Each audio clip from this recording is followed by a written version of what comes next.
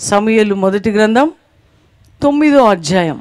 అఫియాకు పుట్టిన బెకోరోతు కుమారుడైన శరీరోకు జననమైన అబియేలు కుమారుడు కీషు అని బెన్యామీయుడు ఒకడుండెను. కీషు భాగ్యవంతుడు ఒక బెన్యామీనుడు.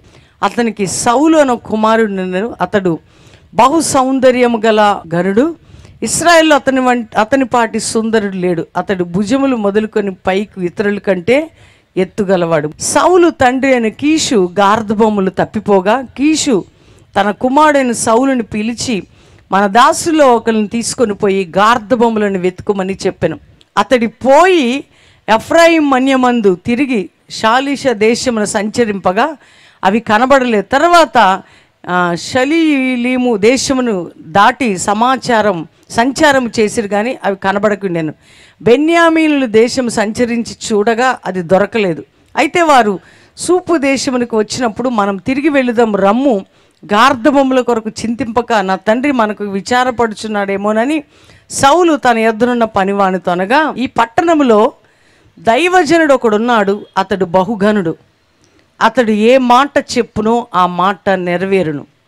మనం వెళ్ళవలసిన మార్గమును అతడు మనకు తెలియజేయనేమో అని అతని యొద్దకు వెళ్ళుదాం రండని చెప్పిన. దేవునికి మహిమ కలుగును గాక. రెండు చేతులెత్తి ఒకసారి గట్టిగా చప్పట్లు కొడదాం. ఇస్రాయల్ ప్రజలు మాకు ఒక రాజు కావాలి అని సమయాలు నద్ద విచారణ చేస్తారు. సమయాలు అంటాడు ఆ మాట ఆయనకు నచ్చలే. ఎందుకంటే సమూహలే పరిపాలిస్తాడు వాళ్ళని మంచి దైవజనుడిగా ప్రవక్తగా. కొద్ది రోజులైనాక ఆయన కుమారులు పుడతారు వాళ్ళు కూడా చ- బాగా భయంకరంగా తయారవుతారు. నీ పిల్లల ప్రవర్తన బాగాలేదు కాబట్టి నువ్వు వృద్ధుడైపోయావయ్యా నువ్వు వెళ్ళిపోతున్నావు కాబట్టి మాకు ఒక రాజు కావాలంటే చాలా బాధపడతాడు సమూహలు దేవుడు కూడా సమూయేలుతో అంటాడు వాళ్ళు నన్ను కాదు నిన్నే విసర్జించారు. వాళ్ళు కింగ్ కావాలంటే సరే నేను ఇస్తాను నువ్వు ప్రార్థన చేయి వాళ్ళతో మాట్లాడు. కింగ్ ఎలా ఉంటాడో కూడా చెప్పంటాడు ఆ కింగ్. మీ పిల్లల్ని సహస్రాధిపతులుగా సైనాధిపతులుగా భయంకరంగా మీ ఫలములు తీసుకుంటాడు. అలాంటి రాజుని మీకు ఇవ్వబోతున్నాడు. అయినా పర్లా మా కింగ్ కావాలని అడుగుతారు ఇస్రాయలు సరే దాని తర్వాత ఇక సౌలు అంటాడు దా సమూహలు అంటాడు మీరు ఇళ్ళకి వెళ్ళిపోండి నేను మీకు రాజుని ప్రిపేర్ చేస్తా అంటాడు. ఇక నెక్స్ట్ దాని కింద వచ్చిన వాళ్ళు కింద అధ్యాయమే తొమ్మిదో అధ్యాయం. అక్కడ ఈ సౌలు తండ్రి కీషు అనమాట చాలా భాగ్యవంతుడు.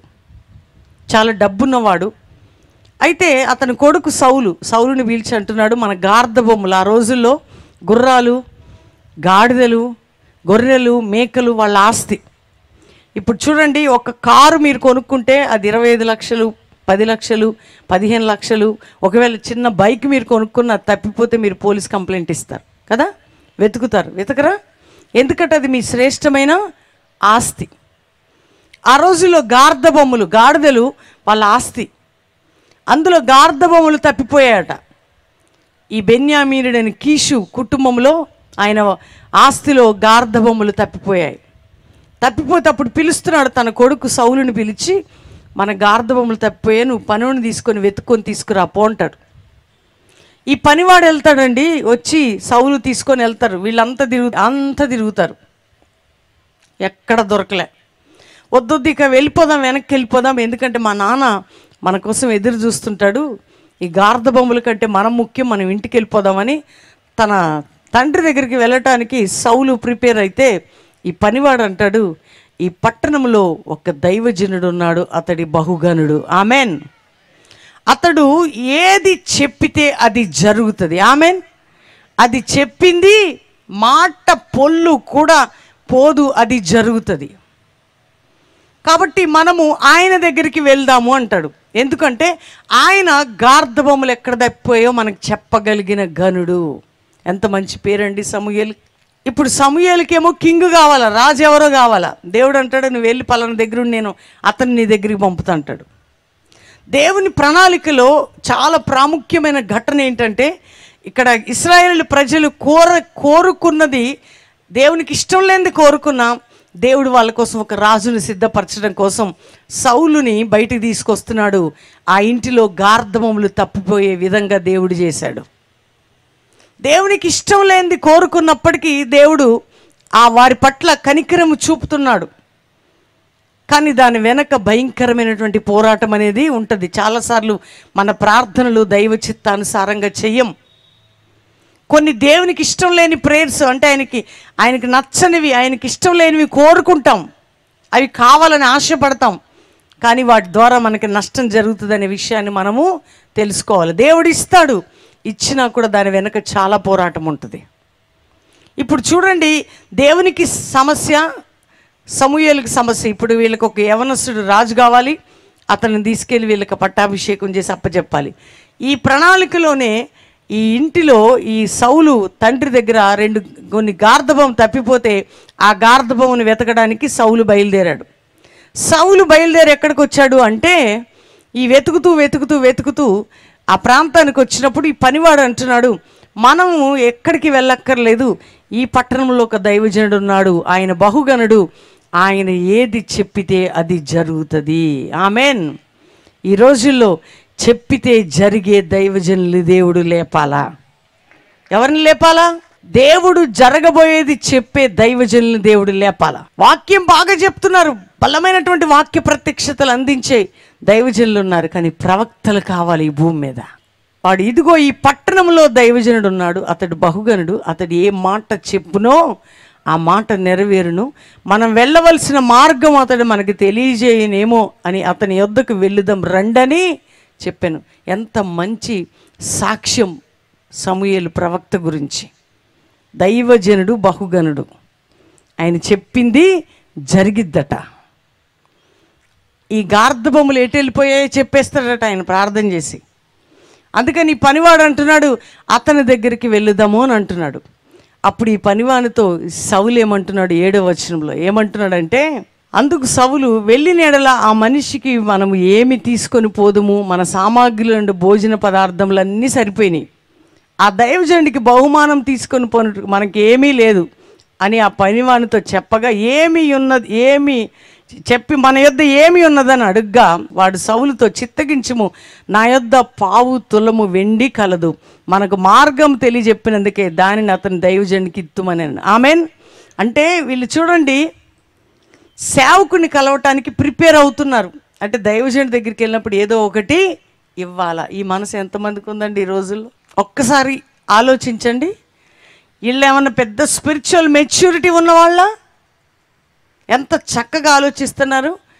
దైవజనుడిని కలవాలా? కానీ ఆ సేవకునికి ఏదో ఒకటి ఇవ్వాలా?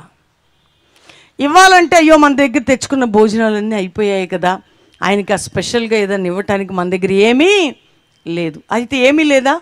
అయితే అయ్యా నా దగ్గర పావు తులము ఏముంది? వెండి ఉంది. అది దైవజనునికి ఇద్దాము. ఆమెన్. అంటే దైవజనుని అడగలేదండి. వీళ్ళే ఏం చేస్తున్నారు? ఇవ్వటానికి ప్రిపేర్ అవుతున్నారు. అందుకే ఇవ్వుడి మీకు ఇవ్వబడను ఆమెన్. అంటే చూడండి ఒక పేషెంట్ దగ్గరికి వెళ్ళేటప్పుడు ఫ్రూట్స్ తీసుకెళ్తారు చాలామంది. ఒక ఎవరైనా బంధువుల దగ్గరికి వెళ్ళేటప్పుడు ఏదైనా తీసుకెళ్తారు. సేవకుని దగ్గరికి వెళ్ళేటప్పుడు ఊపుకుంటూ వచ్చి తలకాయకి పెట్టి ప్రార్థన చేసుకుంటారు. మళ్ళా కానీ దైవజనుడు ఎక్కడైనా ఇవ్వండి అని చెప్తే వాళ్ళ ఆయనను హైలైట్ చేసి ఇగో పాస్టర్ డబ్బులు అడుగుతున్నాడని ఫేస్బుక్లో యూట్యూబ్లో పెడతారు. కానీ ఇక్కడ వాళ్ళకు ఒక విచారణ కావాలి. వాళ్ళు ఏమంటున్నారంటే దైవజనుడికి ఏమైనా తీసుకొని వెళ్దాం. నిజంగా అది చాలా అద్భుతమైన రిలేషన్. ఈ రోజుల్లో నేటి సంఘానికి లేదు. చర్చికి వెళ్ళినా మాకేం పెట్టట్లేదు పాస్టర్ గారు అంటారు.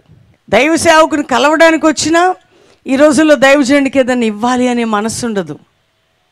నేను బిలీవర్గా ఉన్నప్పుడు నా ఆత్మీయ జీవితంలో నేను నేర్చుకున్న సత్యాన్ని మీకు చెప్తున్నా.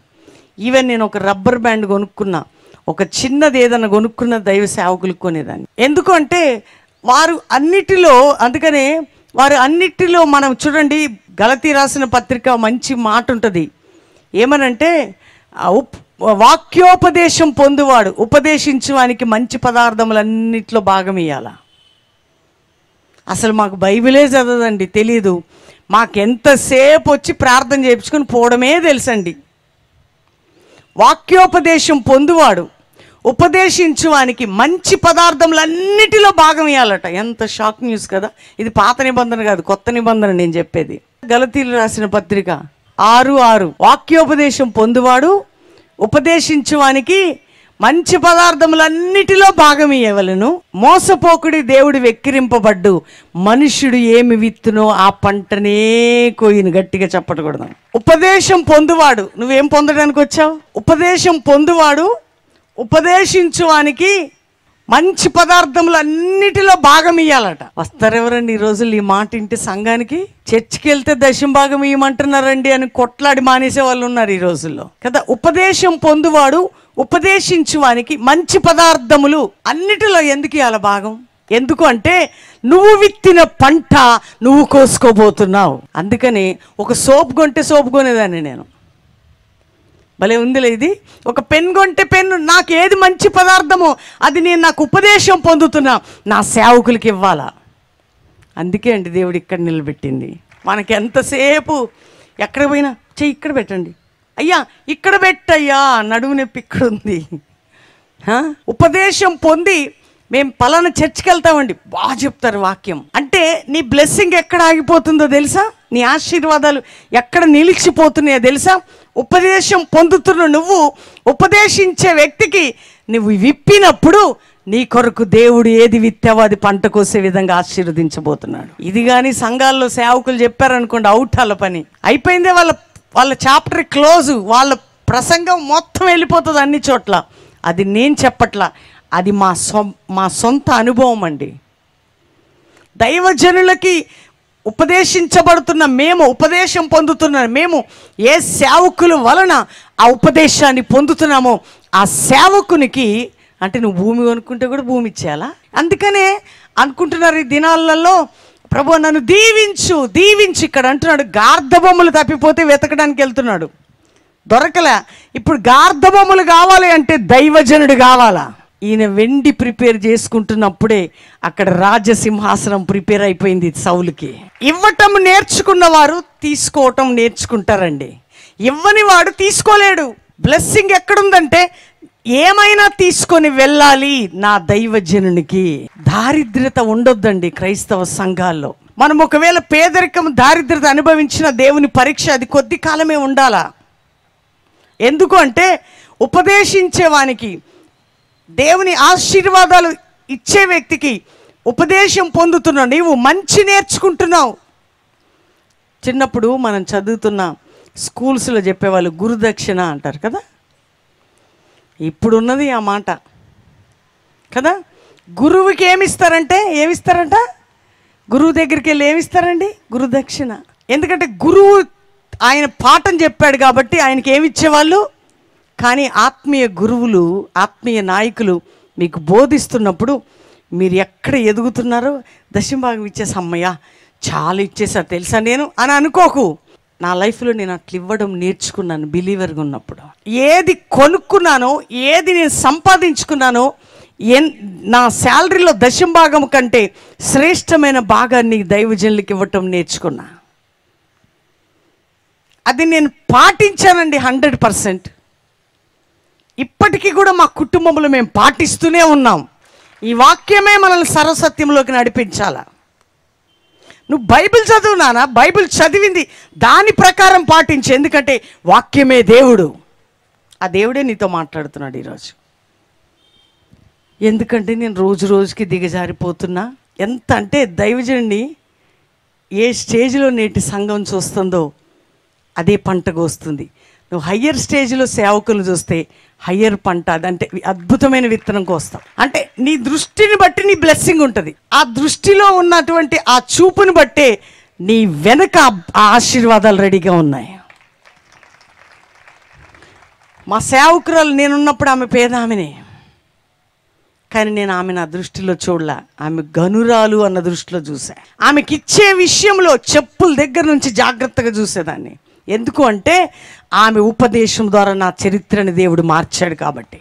ఆమె చేత ఉపదేశం పొందుతూ ఆమె చేత ప్రార్థన చేపించుకుంటూ ఆమె ద్వారా ఆశీర్వదించబడుతున్న నేను ఏమివ్వాలి ఆమెకనే అనే దృక్పథం నా మనసులో ఉంది కాబట్టే దేవుడు కలుగు చేసిన ఆ కృపను బట్టి నేను దేవునికి వందనాలు స్తోత్రాలు ఇప్పుడు చెల్లించుకుంటున్నా. అదే సత్యం నాకు తెలియకపోతే ఈరోజు నేను ఎక్కడో ఉండేదాన్ని ఎక్కడో ఉండేవాళ్ళం ఇద్దరం. అప్పట్లో ఒక డ్రెస్ నేను కొనుక్కుంటే ఒక చీర కొనేదాన్ని ఆమెకి. ఏ దృష్టితో నువ్వు చూస్తున్నావు? ఏ కొలతతో కొలుస్తావో అదే కొలతతో కొలవబడతావు. ఇక్కడ చెప్పాడండి ఇంట్రడక్షన్ ఇచ్చాడు. ఆయన ఏమన్నా చూశాడా ఈ సౌలు? చూడలే. ఇంట్రడక్షన్ ఇచ్చాడు. ఇక్కడ ఒక ఆయన ఉన్నాడయ్యా ఈ పనివాడు అన్నాడు. అతడు బహు గనుడు అతడు చాలా అని చెప్పింది జరుగుతుందంటే అది విన్నాడు మాత్రమే. కానీ ఆయనకి మేలు జరగక ముందే దైవజనుడికి ఇవ్వటానికి రెడీ అవుతున్నాడు. అక్కడ గార్ధబొమ్మలు రెడీ అవుతున్నాయి. ఇక్కడ కింగ్ సీట్ రెడీగా కాబోతుంది అందుకే క్రైస్తవ సంఘాల్లో పేదరికం దారిద్రత శాపము తాండవిస్తుంది. నేను చెప్తున్నా మీరు చెయ్యెత్తండి అప్పులు ఉన్న వాళ్ళంటే అందరు ఎత్తుతారు. అన్ని లాస్ పేదరికం దారిద్రత శాపం. ఎందుకు నీకు? నువ్వేమని చెప్తుంది బైబిల్? ప్రియుడాని ఆత్మ వర్ధిల్లుచున్న ప్రకారం నువ్వు అన్ని విషయాల్లో వర్ధిల్లాలట. ఒక్క విషయంలో కాదు ప్రతి విషయంలో స్టెప్ బై స్టెప్ నువ్వు ఎక్కడుండాలి? ఎక్కడుండాలి చెప్పండి? ఇక్కడ అసలుకే కీషు కుమారుడు సౌలు వీళ్ళు భాగ్యవంతులు. డబ్బున్నోళ్ళకి ఏముంటుందంటే గర్వం ఉంటుంది. ఏముంటుంది చెప్పండి? ఏముంటుంది? ఏ సేవకుని దగ్గరికి వెళ్ళి అడగాలి కానీ ఏమి ఇవ్వాలి ఆయనకి? పావుతులం వెండట. వెండి తీసుకొని వెళ్ళి సేవకుని కలుసుకోవడానికి వెళ్తున్నారు. పనివాడు చెప్పిన మాట సౌలు చెప్పిన మాట పనివాడు ఇస్తున్న సలహా అయ్యా మన దగ్గర తినే బండారాలు అన్నీ అయిపోయినాయి. కానీ తులం అది పావు తులం వెండి మాత్రం ఉంది. అది తీసుకుని ఆయన దగ్గరికి వెళ్దాం. ఖాళీ చేతులతో పోను. చెప్పండి. ఖాళీ చేతులతో రాను. అందరు చెప్పాలా? అందుకని మన పని అంతే అయిపోయింది. వాళ్ళు దీవించబడరుగా కాక దీవించబడరు ఆ దీవిన నీలో యాక్టివేట్ అవ్వటానికి అసలు నువ్వు దేవుని దగ్గరికి వెళ్ళేటప్పుడు నీ హృదయాన్ని ఇవ్వటానికి సిద్ధంగా ఉన్నావా? నీ జీవితాన్ని ఇవ్వటానికి సిద్ధంగా ఉన్నావా? నీకున్న శ్రేష్టమైన ఆశీర్వాదాల్లో శ్రేష్టమైనది దేవుని సేవకుని చేతులు పెట్టి ప్రార్థన చేయించుకుంటున్నావా? మాకు తెలియదు కదండి మాకెవరు చెప్పేవారు లేరు కదా అని అంటున్నావా? అయితే దేవుడు ఈరోజు నీతో మాట్లాడుతున్నాడు. ఉపదేశం అంటే దేవుని వాక్యం ఆ ఉపదేశము ద్వారానే నీ జీవితం బాగుపడుతుంది. నీకు ఉపదేశం లేకపోతే శ్రమ వస్తే ఏం చేయాలో నువ్వు తెలీదు. ఇబ్బందులు వస్తే ఏం తెలియదో నీకు తెలీదు. పాపం నుంచి ఎట్లా తప్పించబడాలో ఉపదేశము ఎందుకు అంటే నీ జీవితాన్ని పవిత్రపరచడానికి ఉపదేశం లేకపోతే నీకు జీవితం నిల్లే. అందుకనే ఉపదేశించే సేవకులని కాపాడుకునే బిడ్డలుగా మీరందరూ ఉండాలి. ఆమెన్. ఇప్పుడు ఇది ఉపదేశమేనండి. ఇది రివైవల్ మీటింగ్ కాదు నేను ఎగురుకుంటూ ఉజ్జీవంగా మీకు వాక్యం చెప్పట్లే. అది ఈవినింగ్ రివైవల్ అనేది ఏంటి చెప్పండి?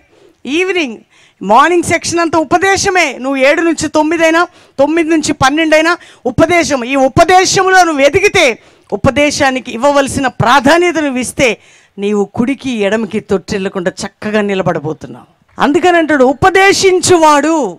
ఆ ఉపదేశం లేదు కాబట్టి నీ స్టెప్స్ అన్ని రా నువ్వు అనుకుంటున్నావు నేను ఎందుకు దీవించబడట్లేదు?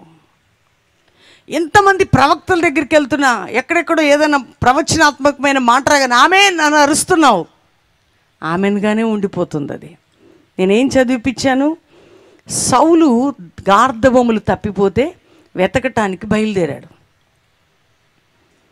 వెతికే టైంలో దొరకకపోతే రిటర్న్ అవుతున్నాడు పనివాడు అంటున్నాడు అయ్యా సేవకుడు ఉన్నాడు ఆయన దైవజనుడు బాహుగనుడు ఆయన దగ్గరికి వెళ్దాం ఆయన చెప్పేస్తాడు. అట్లనా? ఉట్టి చేతితో ఎట్ట వెళ్తాం ఆయన దగ్గరికి మనం? ఎంత మంచి మాట అండి. ఉట్టి చేతులతో ఎట్లా? వెళ్తాం. మనం తెచ్చుకున్న తినుబండారాలు కూడా అయిపోయినాయి కదా. అయిపోతే ఏముందయ్యా?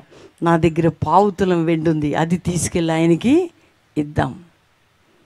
నేను అందుకని ఇప్పుడు చదివి వినిపించా. గలతి ఆరు ఆరు. ఉపదేశం పొందువాడు ఉపదేశించువానికి మంచి పదార్థములన్నిటిలో భాగం ఇవ్వవలను.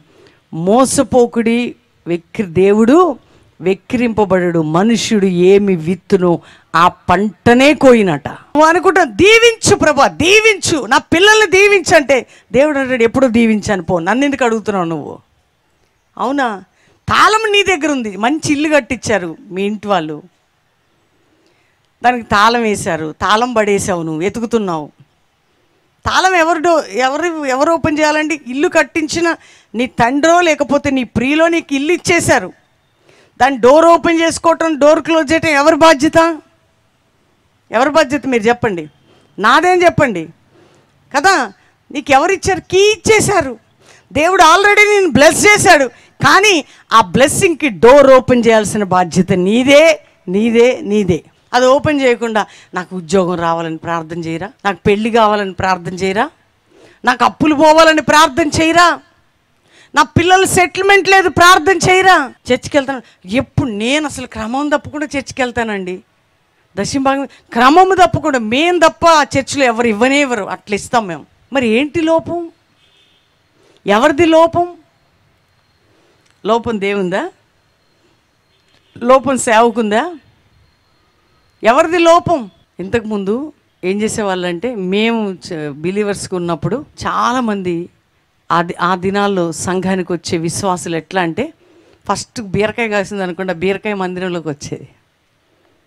కదా? ఫస్ట్ సొరకాయ కాస్తే సొరకాయ మందిరంలోకి వస్తుంది. ఫస్ట్ ఏది పంట పండిన ఆ పంట ధాన్యం మందిరంలోకి వస్తుంది. తాళాలు నీ చేతిలో ఉన్నాయి కారులో కూర్చున్నావు. కారు స్టార్ట్ చేయకపోతే ఎట్లా పోతావు? నువ్వు డోర్ ఓపెన్ చేస్తే నీకు పది డోర్స్ ఓపెన్ కాబోతున్నాయి.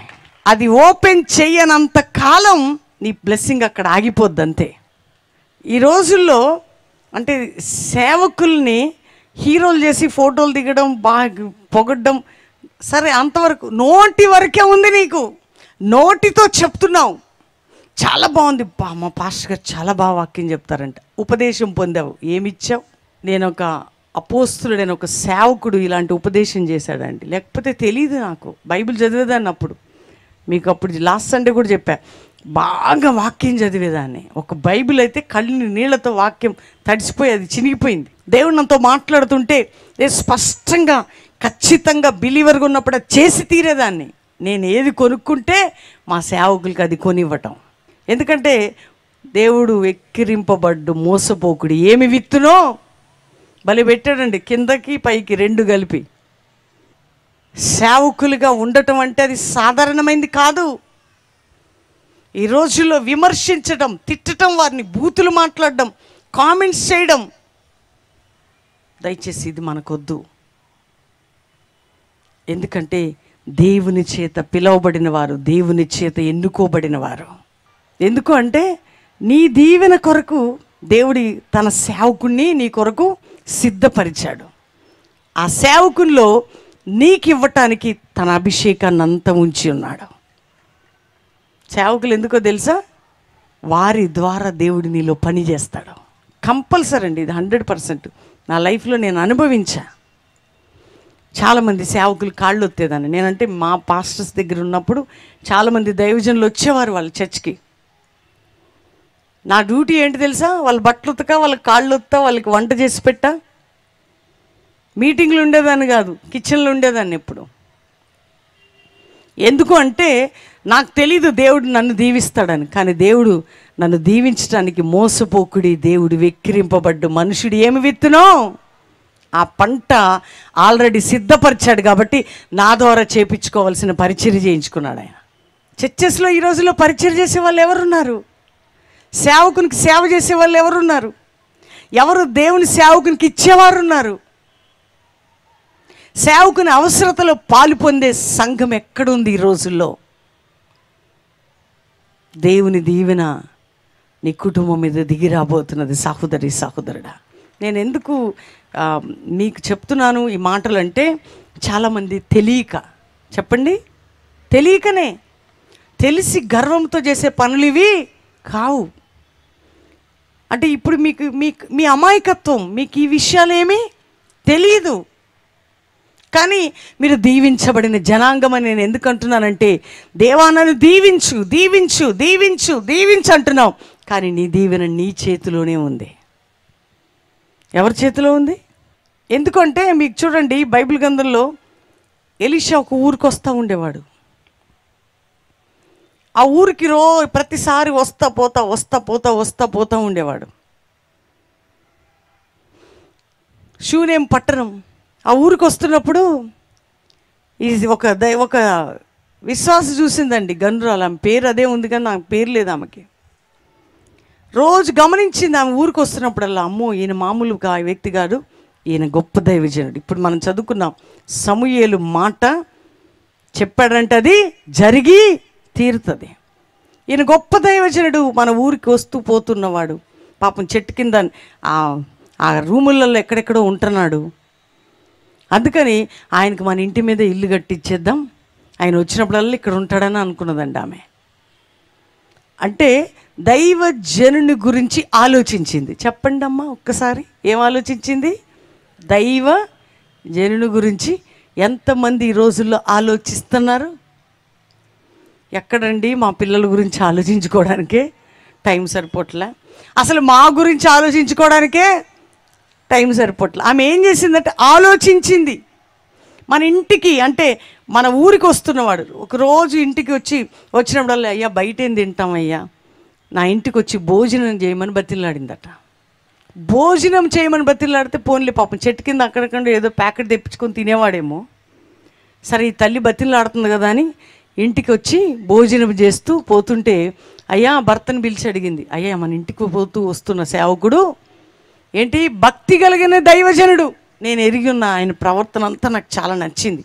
అందుకని అతనికి ఇంటి మీద ఒక ఇల్లు కట్టిద్దాం. ఒక మంచి స్టూల్ దీపస్తంభం కన్ మంచం అన్నీ ఏర్పాటు చేద్దాం.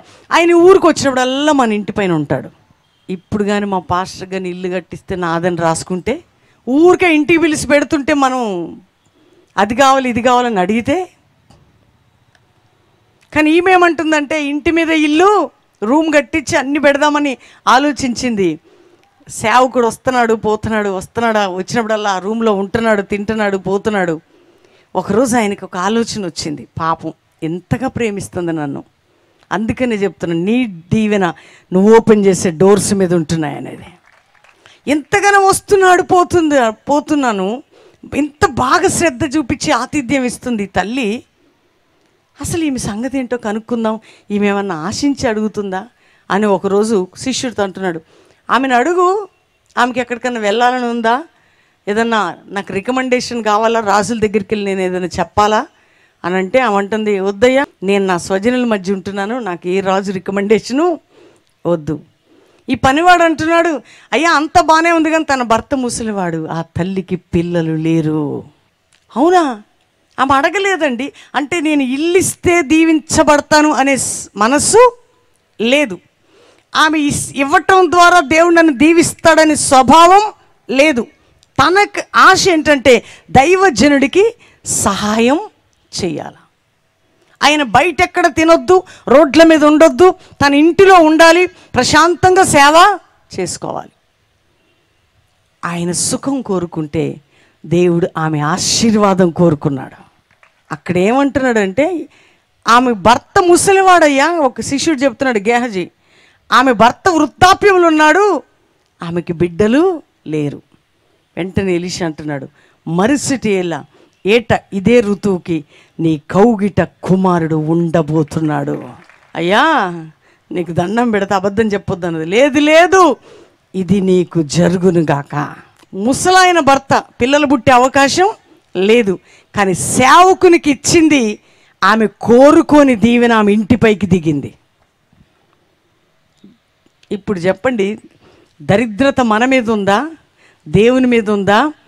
లేకపోతే దైవ సేవకుని మీద ఉందా ఎవరి మీద ఉంది? దీవించు ప్రభా దీవించు ప్రభా. ఒక్కటి నేను అడుగుతున్నా ఆమెకున్న దీవెన పంచింది ఆమె. ఆమెకున్న దీవెన అంటే బిడ్డలు లేరు గర్భఫలం లేదు అయినా ఏది కోరుకోలేదు. ఇంటి మీద ఇల్లు కట్టించింది అయ్యో అయ్యగారు మా ఇంటికి వస్తే అభిషేకం వచ్చేస్తుంది అనుకుందా? సేవకునికి ఇస్తే నేను దీవించబడతానని అనుకుందా? నిస్వార్థంగా దైవజనుడు సుఖం కోరుకుంటే దేవుడు ఆమె నిందని తొలగించి ఆమెకు వంశాన్ని ఇచ్చేశాడు ఆయన. సేవకుని విలువని గుర్తించును అంతే. సేవకుల విలువని ఏ క్రైస్తవులైతే గుర్తిస్తారో ఏ విశ్వాసులైతే గుర్తిస్తారో మీరు ఇచ్చిన విలువను బట్టి దేవుడు మీకు విలువైన బ్లెస్సింగ్ ఇవ్వబోతున్నాడు. కానీ సీక్రెట్ ఏంటో తెలుసా? ఇవ్వటం నేర్చుకున్నాం. ఏం నేర్చుకున్నాం? చెప్పండి. ఇవ్వటం. మీకు ఇప్పుడు నేను ఏం చెప్పాను? ఆ రెస్పెక్ట్ ఆ గౌరవం అనేది నువ్వు నేర్చుకుంటే నీలో ఉన్న నెగిటివ్ థాట్ పోతుంది. ఏ పాస్టర్లు అండి? పాస్టర్లు పాస్టర్లు అనుకుంటే పాస్టర్లు తిడుతున్నావా? వద్దు మాట అనొద్దు నీకు మా దగ్గరకు వచ్చినప్పుడు మీకు సత్యాన్ని నేర్పించాలి మేము. రోడ్డు మీద ఉన్న ఎలీషా గారిని ఇంటికి పిలిచింది. భోజనానికి పిలవటమే కాక ఏకంగా ఇంటి మీద ఆయనకి ఏమి ఇచ్చేసిందండి? ఇల్లునే ఇచ్చేసింది. ఇది చూసిన దేవుడు తన సేవకునికి ఇచ్చే గౌరవాన్ని బట్టి దేవుడు తన సేవకుని ద్వారా ఆమెను దీవించాడండి. వృద్ధాప్యంలో పిల్లలు పుట్టే అవకాశం లేదా కుటుంబంలో. అందుకని ఉంటుంది అబద్ధం ఆడకయ్యా అంటుంది. ఎందుకంటే పిల్లలు పుట్టరయ్యా అది నాకు తెలుసు సత్యమే. ఎందుకంటే నా భర్త ముసలివాడు నువ్వు అబద్ధం చెప్తున్నావు. అబద్ధము కాదు. ఎందుకంటే నీవు ఇచ్చిన విలువ నీవు ఇచ్చిన గౌరవం నీవు చేసిన త్యాగం ఆకాశ తూములు నీకోసం తెరిచిందంతే. మనమైతే పిల్లలు లేరండి ప్రార్థన చేయరా పిల్లలు లేరండి ప్రార్థన చేయరా పిల్లలు లేరండి ప్రార్థన చేయరా పిల్లలు లేరండి ప్రార్థన చేయరా. ప్రార్థన కూడా చేయించుకోలేమే. నువ్వు ఉండే పద్ధతిలో ఉంటే కృప క్షేమము నీ ఇంటికి వచ్చి నిన్ను తలుపు తడతాయి. నేను అందుకేనండి చిన్న పెద్ద అనే సేవకుడు ఉండడు. చిన్నప్పటి నుంచి నేను బిలీవర్గా ఉన్నప్పటి నుంచి నేర్చుకున్నా. సేవకుల్ని ఒక్క మాట నమ్మాము అందుకే. ఎందుకు అంటే సేవకుడు ఎవరి సేవకుడు అంటే దేవుని సేవకుడు. ఎవరి సేవకుడు? ఆయన సేవకుడు నీకు దాసుడు. కదా? పాస్టర్ గారు పెళ్ళికి లేట్ వచ్చారండి అందుకే చర్చి మానేశాం. కదా? పెళ్ళి మా మా ప్రోగ్రామ్కి రాలేదైనా ఈ రోజుల్లో ఎంత చులకన దైవజనులు అంటే ఈ కంప్యూటర్ యుగంలో ఈ పిచ్చెక్కువైపోయి ఈ హై టెక్నాలజీలో ఎట్లయిపోయిందంటే అందుకనే దేవుడు నీ ద్వారాలు మూసి ఉన్నాడు. ఈ రోజు కానీ నీ మనోనేత్రాలు తెరవబడితే దేవుని ఆశీర్వాదాలు నీ వెంట రాబోతున్నాయి.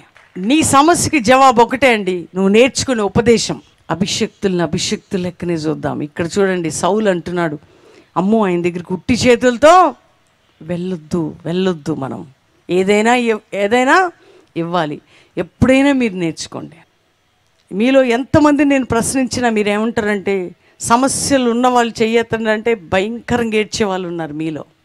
కానీ మీరు పాటించవలసింది చెయ్యండి వాక్యానుసారంగా. దేవుడు నీకోసం తను ఓపెన్ చేసిన డోర్స్ నీకు కనబడతాయి. ఓపెన్ చేసి ఉంచాడు ఆల్రెడీ. అన్నీ ఓపెనింగ్ అయిపోయి ఉన్నాయి. ఇక నువ్వేం చేయాలంటే అవి నీవు అడుగు పెట్టాలంటే నీ మనోనేత్రాలు తెరవబడాల. నువ్వు పీజీ కాలేజీకి వస్తున్నావు. నువ్వు సత్యాన్ని తెలుసుకో. ఉపదేశంలో పెరుగు ప్రభు నిన్ను ఆశీర్వదిస్తాడు. ఆమెన్. జాగ్రత్తగా ఉందాం. ఆమెన్. ఎందుకంటే ఒక దైవజనుడు ఉన్నాడు. ఆయన బహుగనుడట ఆమెన్. ఆయన కానీ చెప్పితే మన గార్ధభములు మనకు దొరికిపోతాయి. దేవునికి మహిమ కలుగును గాక. నీతో పండుకున్నా నువ్వు పెట్టింది తిన్నా నీతో నడుస్తున్నా దైవజనులు దైవజనులే. వారి దేవుని చేత దేవుని ఆత్మ చేత నింపబడి ఎన్నుకున్నవారు అభిషేకించబడిన వారు వారి ద్వారా ఏం చేస్తాడంటే దేవుడు నీ కుటుంబాన్ని చక్కపరుస్తాడు. ఎందుకంటే నువ్వు ప్రిపేర్ అయ్యి వస్తే ఆరాధనకి పరిశుద్ధాత్మ దేవుడు నీతో. ఇప్పుడు చూడండి వీళ్ళు ప్రిపేర్ అయ్యి వెళ్తున్నారు గార్ధబముల కోసం. వెళ్ళేటప్పుడు కూడా మానసికంగా స్పిరిచువల్గా ఆర్థికంగా సిద్ధపడి వెళ్తున్నారు. దేవుడు వారి ఆశగల ప్రాణాన్ని తృప్తిపరచబోతున్నాడు. ఆమెన్. ఈరోజు దేవుడు నీతో మాట్లాడి ఉన్నాడు. ఇన్ని సంవత్సరాలు ఇన్ని దినాలు మీ లైఫ్లో మీ చరిత్ర ఎట్లుందో నాకు తెలియదండి. మీరు వచ్చిపోయే విశ్వాసులా ఉన్నారు. మీకు ఉపదేశం బోధ ఉందో లేదో మీకు స్పిరిచువాలిటీ ఆత్మీయత అంత ఆత్మ సంబంధంగా ఎదిగి ఉన్నారో లేరో నాకు తెలియదు కానీ ప్రభు ఈరోజు నిన్ను దర్శిస్తున్నాడు. ఎందుకు అంటే నీవు కానీ నీ స్వభావాన్ని నీ నీ ఆలోచన విధానాన్ని మార్చుకుంటే దేవుడు నిన్ను ఆశీర్వదించి ఆశీర్వాదాన్ని కర్తలుగా చేయబోతున్నాడు. ఈ రోజుల్లో దీవెన లేకపోవడానికి కారణం ఎవరిని మనం అనొద్దు. దేవుణ్ణి అనొద్దు సేవకులు అనొద్దు. తప్పు నాదే అనాల. ఎందుకంటే మన ఆలోచనలో తేడా ఉంది. మన మాటల్లో తేడా ఉంది. మనం చేసే పనుల్లో తేడా ఉంది. అందుకే దేవుని దీవెనలో కూడా మనకు తేడా కనిపిస్తుంది. నువ్వేం చేస్తున్నావు? వాళ్ళని దీవిస్తున్నావు ప్రభా నన్ను దీవించట్లే. వాళ్ళకి అది ఇచ్చావు నాకు అది ఇవ్వట్లే. నిన్ను దీవించడానికి దేవుని హస్తం కురుచైపోయిందా? చెప్పండి. ఆయన ఎప్పుడు ఆయన బాహుబలం రెడీగా ఉంది నిన్ను దీవించడానికి. సౌలు కానీ ఆలోచించినట్టు ఆ పనివాడు కానీ ఆలోచించినట్లు నేను ఆలోచించాలి ప్రభా. ఆ శూన్యమీరాలు కానీ సేవకునే విషయంలో తీసుకున్న శ్రద్ధ ఆలోచన నాకు కలగాలి. ఆమెకు బాధలు లేవని కాదు కష్టాలు లేవని కాదు. కానీ ఆ విధంగా దీవెనల కోసం కాదు కానీ నీ కోసం నీ అభిషేకమున నీ దైవజనుల కోసం నేను ఈ విధంగా సిద్ధపడాలి.